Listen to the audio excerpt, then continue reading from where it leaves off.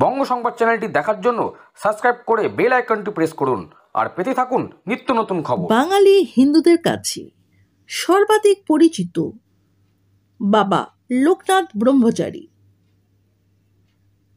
রণে বনে, জলে জঙ্গলে, যেখানে বিপদে পড়িবে, আমাকে স্মরণ করিবে, আমি তোমাদের রক্ষা করিব।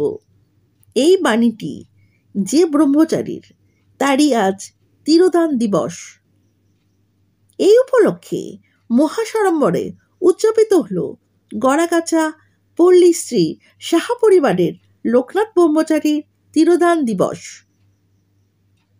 সকাল থেকে চলে পূজা অর্চনা।